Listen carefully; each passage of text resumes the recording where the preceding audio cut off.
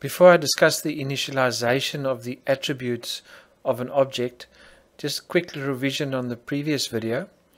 Notice when you declare an object, uh, we highlighted two parts of the declaration. The first part is the student B, which declares a pointer B that is ready to point to an object, which is an instance of student. So student B, B simply just declares the pointer. Then the part new student allocates memory for the object and puts into that object the attributes surname, name, student number, and age. But notice at this stage, at the end of this declaration, these four attributes are uninitialized. They do not have values yet. The nice thing of, of classes, which makes it totally different to normal data types, is that inside the class you can add methods.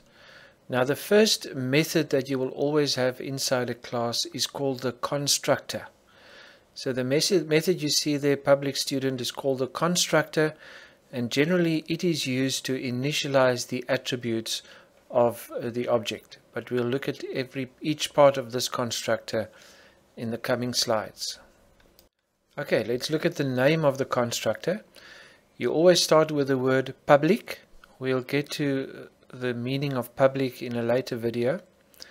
Then the name of the, the constructor is always exactly the same as the name of the class. So you notice it's student in both cases. You might note that there's nothing like void or int or double between public and student. The constructor is the only method that you cannot put in a data type. So you just need to say public and the name. You don't need to include void, etc. before student. Okay, like any method, the constructor then also takes parameters.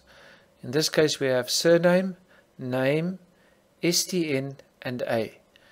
Now, with some investigation, you'll see that there's a mapping between those four parameters and the four attributes of the class. We'll discuss how this works in the next slide. Okay, the first two parameters are surname and name. Now the values that they bring in are used to initialize the attributes surname and name of class. It's very important to note that now we have two sets of names here that have the same name. We've got the attributes surname and name at the top and we've got the two parameters surname and name. To distinguish between these two, in the method we say this dot surname is assigned to surname. The this dot surname always refers to the attribute of a class. So, and then the surname in this case will then be the parameter of this method. So whenever you want to specify that you're talking about the attribute, if there's some room for confusion, you say this dot surname or this dot name. So in this case, the parameter that comes in, that value is assigned to the two attributes surname and name. Where we don't have the possibility of confusion, notice in this case the two parameters are stn and a, we don't use to, need to use the this. So we say st number is assigned to stn. So the attribute st number is assigned to the value of the parameter and the same is then done with age. Age is assigned to the value of the parameter a. Okay, so we've defined the constructor inside the class definition. Now let's look at what impact it has when you actually declare a new object. So here we're declaring the object B. Notice in the earlier declaration we simply said student B is assigned to new student. Uh, where student B declared the pointer and new student uh, reserved the memory and created the object with uninitialized attributes. Notice that student open bracket close bracket resembles from the first semester where you call a method. So what you can see is that the part of this declaration is now calling the constructor student, the bold-faced part.